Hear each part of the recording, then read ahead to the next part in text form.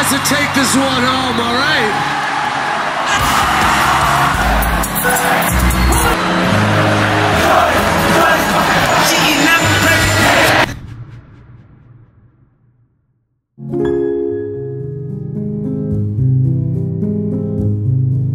It's one of those weeks. Five red lights in a row headed somewhere you don't want to go, only to find out it's closed when you get there. You go home, go to sleep, wake up, and do it again. And again. And again. And look, it's wearing me down. There's a river damming in my tear ducts. At this point, I am begging for that little Dutch dude to let his thumb down. It's time. Open the floodgates. And this is why I've gathered you here.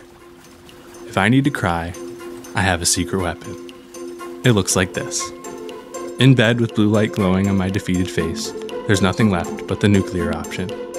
Somewhat pathetically, I start to type. Crowd sings back. If I'm lucky, the algorithm already knows my secret and skips a step. Either way, it's not one video I'm looking for, but a genre. Anyone will do. I'm looking for a moment. The moment a song grows from one voice to thousands.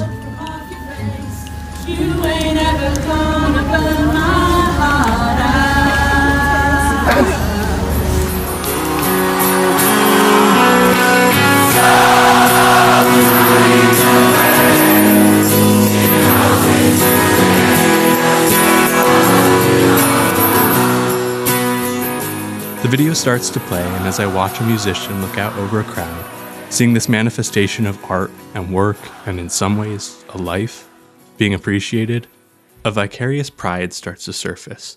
And when the moment lines up just right, out they come.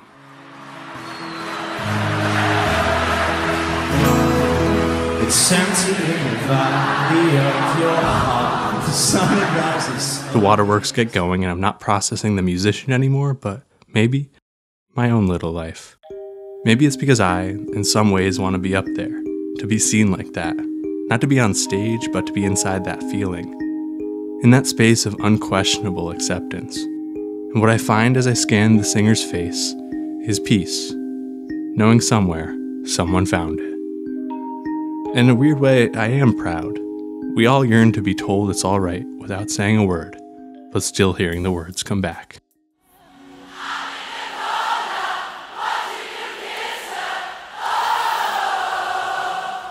But it's about what the music becomes in that moment, more than what it was before.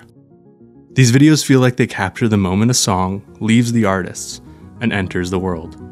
A being that was born in a basement house show, now bigger than the band that birthed it. Out it goes. It belongs to us now. Digging deeper into the feeling, I think that's closer to the source. It's the singular becoming collective, a part becoming the whole. That's where these moments transcend. And that's what I want to dive into with this. I want to try and understand the magic, to notice it when I cross its path in the future. Look, I know I refer to too many things as magic, it's a habit I'm trying to kick. But I think that's what I'm drawn to, and I think that's what these kind of moments seem closest to. Watching a force outside of reason transform itself into something new. Sure, you can watch a video and learn magic, make a rabbit appear and disappear, just like you can logically explain away the feeling from this, but I suggest at least look at it with a sense of wonder if you're able. I'm guessing if you're here, there's a chance you took a detour while typing in something similar yourself, looking for the magic in a crowd singing back. If not, go give it a shot. It doesn't matter if you even know the artist. I'm still not sure Lewis Capaldi is even real, or if he's just a montage of crowds singing back. Either way, the effect is the same. It just hits harder the more you know the song or the artist. And even better, in those rare golden moments, someone captures the first time an artist really hears their music coming back. A band breaking through. The first fan in a dive bar to know a lyric, or the first time a stadium rises back in response. It takes a thousand different shapes, but draws from the same source.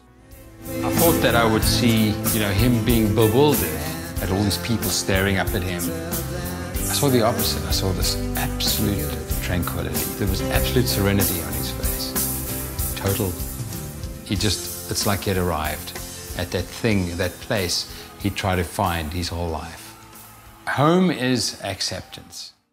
I love when a bit too much meaning packs its way into the tiniest moments. Like how in these simple videos, you'll find a sprawling story of everything that led to this stage, this moment, come through in the glimmer of an artist's eye. Or maybe as they look out over the crowd, taking it all in, you might catch their arm drop to the side. In that small surrender, realizing their singing's no longer the star of the show, that the crowd's got it from here. Sometimes they reach for their chest or try not to fold. Occasionally, you catch their face contort as they try to hold back the tears I'm on the side letting loose. And as the words rise back from the crowd, a wave of appreciation comes crashing back. They realize that the art they put out there has been accepted by the universe, given the green light by some intangible force of fame. And in a subtle drop of an arm, you see a weight lift away. A moment of peace found in the chaos of a crowd. But digging in even more, I think what I feel most is community. Because I also get the same effect from stadiums chanting, a chorus of voices rising up. It's Irish rugby fans singing Zombie to a stadium.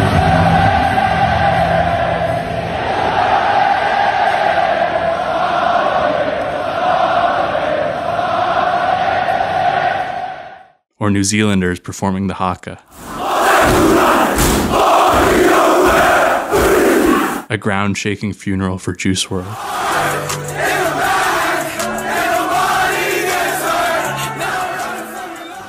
Subway platforms that carry on the concert on their way home.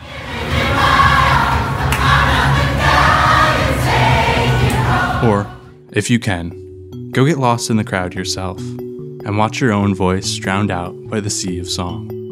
The more tangible, the better. There's some deep seated power that dusts itself off and rises to the surface when you're caught up in the chanting of a song. You lose yourself to the scale of it all. Humanity as this genetic and ancestrally repeating pattern. It's like watching Baraka or the Qatsi trilogy, where we see humanity reflected back at us, and suddenly makes everything else feel tiny in comparison. Tracing it back further, my fascination is rooted in joy. It's the joy of people realizing their collective power. And in this rare instance, you get to see that collective power directed at a pure good, to see its potential. For a moment, a slice of humanity comes together to celebrate a song or a moment, a thousand voices resonating with specific words or maybe a greater feeling.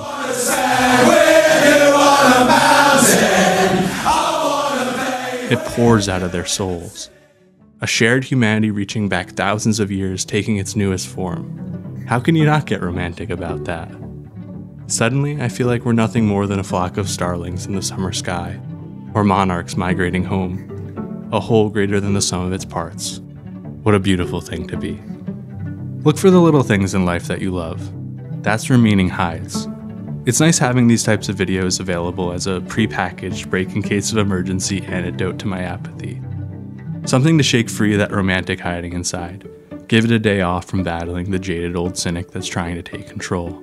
So sure, maybe this type of video doesn't make you cry, but maybe they show you what to look for. I know you know the feeling I'm rambling on about, and the next time it makes its way to you, you'll know what you've got. It may not be crowds singing or stadiums chanting, but whatever it is, I hope you can name it when you find it, and always know to look for the magic hiding in a normal life. In the tears department, I'd like to one day go solo, to not use any performance enhancers.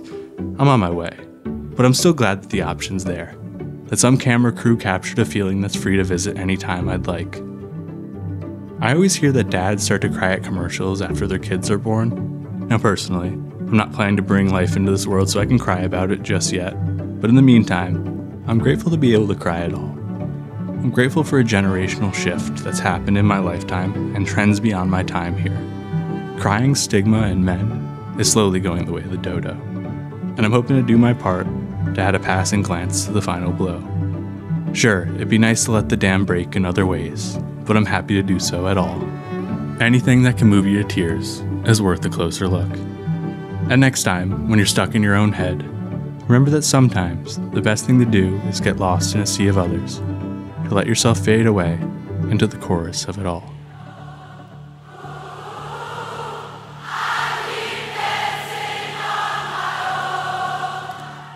Thanks for watching. I'm Ryan Harper. This is Niche Nonsense.